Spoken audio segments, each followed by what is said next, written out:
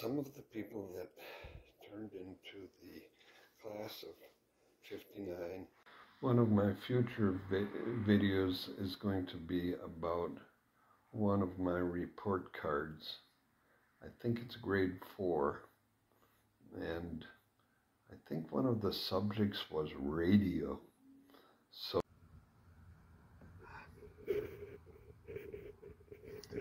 the this is the area where we uh, got off the bus and across the street here there used to be a blacksmith shop.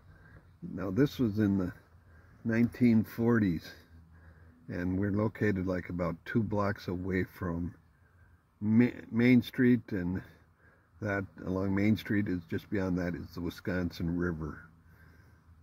Um, I hope to put a picture of the class that I was in in 1948, I believe, maybe 49, but it was when I was in fourth grade. No, third, third grade, I'm sorry.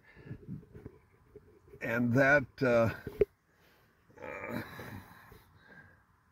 if I'm successful at uploading it. So, basically this is conclusion here.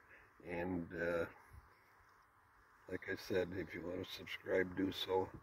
And if you want to uh, see what my fourth grade report card looks like um, that will be coming here one of these days.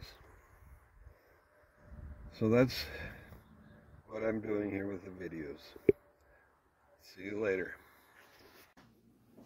the route we took for lunch was four tenths of a mile from one school to the other.